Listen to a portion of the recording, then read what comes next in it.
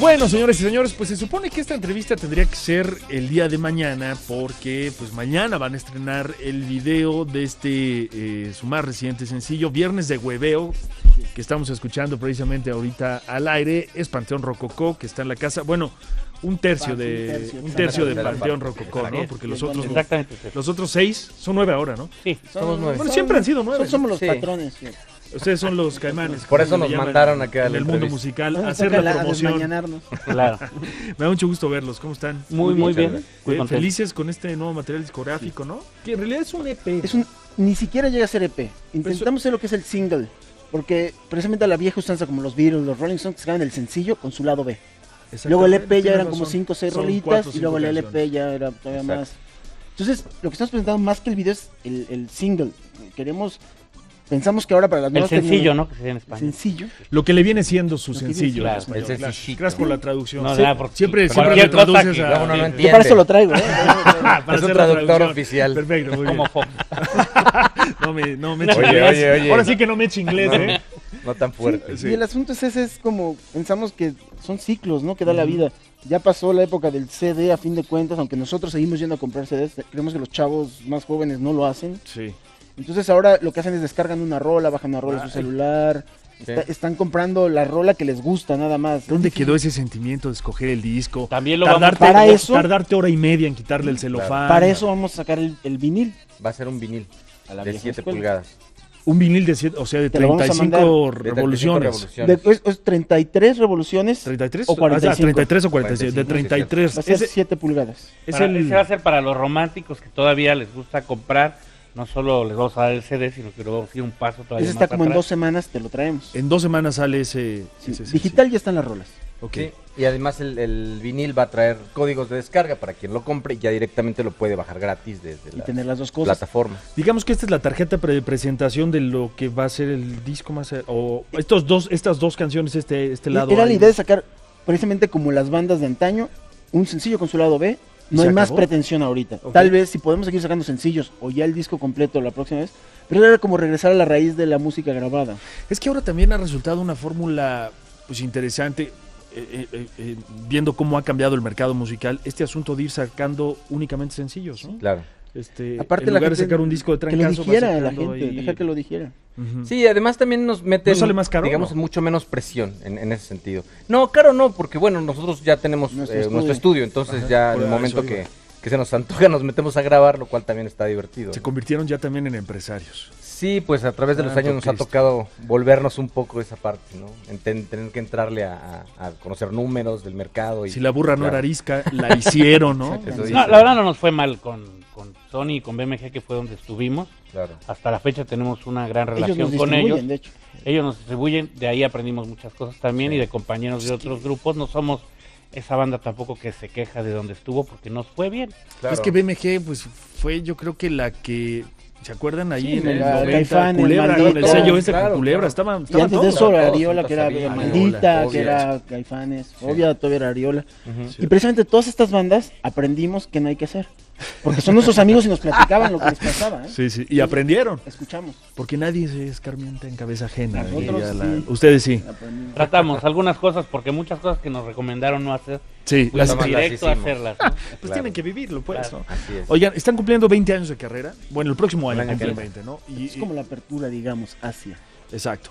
Este, y tengo entendido que tienen pensado celebrarlo en grande, ¿no? O sea, tengo entendido que probablemente hagan un toquín en el Zócalo Si nos lo prestan, cosa que no ha sucedido hace mucho tiempo, o el Foro. Sol. Sí, estaría divertido. Vamos a ver qué ya. Es que el problema es ser nueve y que los nueve tengamos las mismas decisiones. Es que hay nueve ideas diferentes. Ajá. claro. Entonces estamos esperando cuál de todos haga la idea más brillante y que nos diga, esa es la que vamos, porque, o sea, algunos sí dicen Zócalo, otros dicen Foro Sol, otros dicen Estadio Azteca y otros decimos 30 Alicias, que es un lugar para 400 personas. Entonces, Sí. pues, Pero, digo, son nueve ideas, pero leía yo, ¿es cierto que es más fácil que se divorcien de sus esposas a que se separe de Panteón Rococó? ¿Eso ya ha sí sucedido. Ha pasado. ¿Ya, bastante. ya se ha dio? Claro, claro. Ya lo- normalmente todos ya han, digamos, mudado la piel, y pero nosotros seguimos viéndonos casi todos los días, ¿no? Son como una familia, Sí, como una sí, comuna. totalmente. Así es, más como una comuna que como una familia. Más como una comuna. Y del dolor ni hablamos. No, imagínate, nos vamos de gira de repente a Europa durante tres meses viviendo o ocho semanas viviendo 20 personas arriba de un autobús. Y eso, o sea, no, no llegamos a hoteles, no llegamos a nada. Vivimos en el autobús, cada quien tiene su camita, su, cierra su cortinita y Y bye. pues, ocho semanas, 20 personas en ese lugar tan reducido. Tiene que haber mucho respeto, mucho Y conocimiento. lo hemos hecho 14 veces, entonces ya Claro. vamos, hemos, 14 hemos, años. Más, hemos vivido en 15 el años. autobús. La Sí. otra vez, bueno, entre el autobús decíamos que en Alemania hemos vivido casi tres años ¿no? de nuestra vida ya, Es increíble. sumando, Sumando giras. Y los Y una buena parte así, en ¿no? ese bus. No me cambian los ojos No, a no sé, verde. yo- no, tampoco.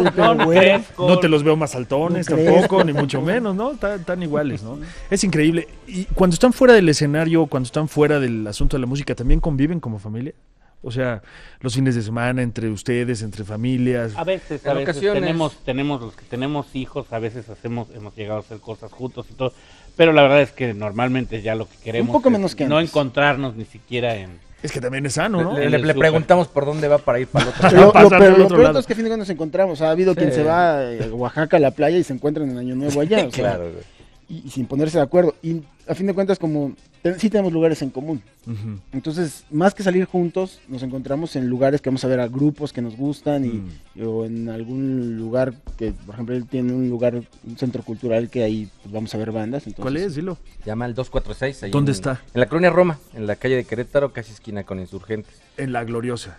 En la Glor- Es restaurante y... Es un, es un foro, o sea, Es un tenemos foro. un, eh, un escenario con un audio modesto para, para bandas, ¿no? Ajá. Y mañana, por ejemplo, toca Resorte, entonces pues está interesante. Ah, caray, pues pues, no, Sí, para que toque que Rosesto, porque Sí, resorte sí. no debe ser tan modesto. sí, digo, es ¿Y chiquito. tocan bandas ahí Tocan bandas, normalmente muchas bandas nuevas, porque nosotros también lo que quisimos reproducir es esa parte donde tener un espacio de las, ban- las bandas nuevas tengan donde poder hacer su música, invitar a sus, a sus familiares, amigos y que, y que suene decente, ¿no? Está bueno eso, es un está bueno. la- Oye, el Chiquis Amaro les produjo este... Una vez más. Este es. sencillo una vez más, Una ¿no? vez. Sí. Han hecho buena mancuerna ahí con él. Sí, es un Sí, gran amigo siempre. Chiquis, la verdad es que... Y un talento, aparte. Sí, no, Sí, bueno, no, para nosotros total. es el rey Midas del rock y del pop. Y de Sí le sabe, ¿no? cosas. No, sí, po- cañón. poquito le sabe. Y aunque no le supiera estar Produce con él es discos muy desde rico. los 13 Tienes años. Chiquis, Sí. Sí. y ha producido cualquier cantidad de bandas. Y sí, hemos hecho hasta el ejercicio. A ver, dime una banda, ya la produje. Dime una banda, ya la produje. Banda, banda, y sobre todo de rock, ¿no? Que mucha gente solo conoce ahora en su época de popero. que. Tiene su banda, que es Hot Dog, que es muy buena también. Muy buena, claro. Y este, pero pues Chiquis ha producido discos desde el Tex Tex, este, En todo. Cuca. En todo ha estado. Cuca, Moenia. En todo. Y todos son, la verdad, grandes discos. Sí, ¿no? sí, Su gran un- Le mayoría. mandamos un abrazo. al Claro, un abrazo a mi gran compa, amigo. Además, con Claro. todo cariño. Oigan, ¿cuál será, cuál será la fórmula para... A, a lo que quiero llegar es, ¿ustedes se imaginaron cuando comenzaron, en esa época en la que comenzaron, que iban a trascender hasta convertirse en una de las bandas más representativas hoy por hoy de la música mexicana? No quiero decir música alternativa. Qué bonito, porque- qué bonito. Sí, qué bonito Eh, suena. Porque odio, odio ese, terma- ese tema de la música alternativa, sino de la música mexicana, ¿no? Ustedes ya son una bandera, unos representantes, unos este, embajadores de la música mexicana. ¿Se imaginaron que iba, que iba, que iba a pasar lo que pasó con Panteón? También hay nueve ideas en eso, ¿no? Hay Claro. quienes- yo, por ejemplo, yo era mi sueño y claro que me lo imaginaba, no sabía que sí iba a pasar, ¿no? Claro. O sea, algo que deseabas, pero no era el fin de la banda. Exacto. Sí, sí. Digo, personalmente yo nunca, o sea, yo siempre, y, par- y por lo menos para mí fue un proceso como bastante orgánico, porque nunca fue eh, más allá de tener pretensiones, era Sí. simplemente tocar y, y- y hacer la fiesta con tus amigos, y eso era todo, ¿no? Y poco a poco fue dando para más. Sí, vamos a, a- a metas cortas. Nosotros Sí. es lo mismo que dicen. El próximo año tenemos muchos planes, pero ahorita tenemos primero el show de este fin de semana y acabar este año con muchos proyectos. Tenemos la gira en Estados Unidos, que empezamos en Ya, ¿no? 15 días. Sí, sí, sí, Sí. Y aquí en México también. En México ahorita tenemos Aguascalientes. Puebla, tenemos Toluca, Guadalajara, Toluca, Toluca. Tenemos varias cosas. Entonces, ya estamos pensando si el- en el 20 aniversario, como te decía, este, este sencillo es como abrir esa puerta hacia el, hacia el cumplir 20 años, pero cuando iniciamos era lo mismo. Nosotros, Entiendo. nuestro sueño más grande era poder primero tocar en el Alicia, luego Rocotitlán, y luego era nuestro sueño más grande era Híjole. poder llegar a tocar, En el look. ¿Se no, acuerdan del look? ya no nos No, tocó ya como no- ya no banda, tocó el look a ustedes, banda, ¿no? Sí, sí, sí. pero como público sí. Ujú. Pero Claro. nuestro sueño era poder tocar con Maldita Vecindad tal vez en CEU. Ujú, Era nuestro sueño. Y pues, llegó muy rápido, entonces después tienes que buscar otro sueño, y luego tienes que buscar otro, luego tienes que Claro. buscar otro. A lo mejor por eso también decidieron sacar este material de esta manera, ¿no? Como Sí. diciendo, vámonos pian pianito, Sí. esto es lo que somos nosotros, lo que hemos sido siempre, ¿no? Este, sin tanta pretensión, haciendo lo que realmente hacen. Y creo que también me resulta interesante saber que son una banda como que muy democrática. Porque Exceso. cada que pregunto algo y cada que leo algo de ustedes, es, pues somos nueve me- este, cabezas, somos Claro. nueve opiniones, hay nueve gustos musicales. Y eso, eso a mí me llama mucho la atención porque han logrado ponerse de acuerdo para hacer lo que mejor saben hacer, que es su música. y eso no debe ser fácil. Mucho. No, no, yo, es, es, es bien complicado, pero al mismo tiempo yo creo que también es la razón por la cual los nueve Claro. seguimos acá, ¿no? Exacto. Porque las decisiones las tomamos en conjunto y aunque a veces tú estés totalmente en desacuerdo de una decisión, si se ganó la mayoría, bueno, tienes que asumirla y vas a luchar y a defender la, la misma decisión, ¿no? Fíjate que algo, lo hemos platicado siempre en entrevistas y lugares, y es algo que no tenemos ni siquiera documentado ni para nosotros.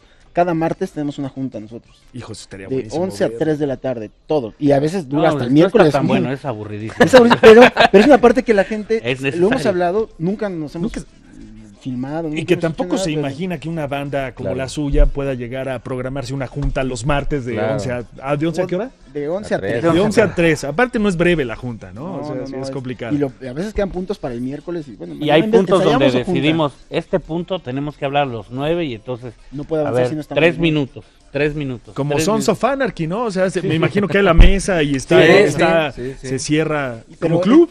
Eso Sí. es lo que nos ha hecho a nosotros durar casi 20 años. Y los mismos nueve, integrantes. Los Eso nueve está- estamos desde el Eso primer está, disco. eso está rudo, ¿eh? Estamos está desde el primer difícil. disco los nueve. Claro. Éramos se 10, reconoce.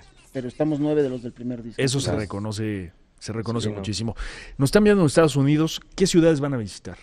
Vamos a San José, Ajá. vamos Santana. a Los Ángeles, Santana, Ajá. Chicago, Chicago, Nueva Denver, York, Nueva Denver, York, Dallas, Dallas, y El Paso. y El Paso. Perfecto. Eh, su Twitter, si es... Si es Rococo ese- Tweets. Arroba. Eso es importante porque para toda la banda que de repente está ahí este, Y el Face Panteón Rococo. apoyándolos con la red social, muchos ponen hashtag Panteón Rococo, si es su Twitter oficial. El Rococo Tweets es el oficial. Ese es el oficial. Igual ponen Panteón Rococo y los manda al otro, a fin de cuentas. Y el, y el Facebook, que es donde tenemos una comunidad más grande todavía, eh, es Panteón Rococo. Oiga, por cierto, me dio mucha risa este guiñito que le hicieron a la maldita vecindad, que sin duda alguna pues fue una banda que en el inicio a ustedes los, los influyó. El guiñito que le hicieron en esta, en esta rola del Sí, son grandes amigos. Claro. Y Son ahora que, como que nuestros están. Rearrancando, está, está Sobrevivientes, diría Sí, yo. Son como nuestros abuelos. ya los pasaste a raspar un poquito, pero tienes toda la razón. No, los queremos mucho y la verdad, ellos, en el primer demo que grabamos alguna vez en la vida, el demo Sí. se llamaba Toloche pa' mi negra, ahí Rocco se le invitó, ni siquiera lo invitamos nosotros, lo invitó a quien nos lo producía y él sin chistar fue, se involucró Sí. con la banda y grabó en, no en una, en dos creo, canciones y, y en el primer disco Pato nos prestó sus amplificadores. Todavía no el, se los el regresamos. sax, Ya pronto. sax a mí me empezó a dar tips y todo del saxofón. Todo. felicidades, eh. mi, mi respeto, mi admiración y mi reconocimiento. Gracias. Muchas Un gracias. Verdad, placer. Muchas gracias. esperamos placer, verte en un tan show buena pronto. música, siempre. No, hombre, si yo les contara. Ahorita les voy a contar fuera del aire. Órale, gracias de verdad por estar aquí. Regresamos a través de la radio, no se vayan, quédense en Telefórmula también.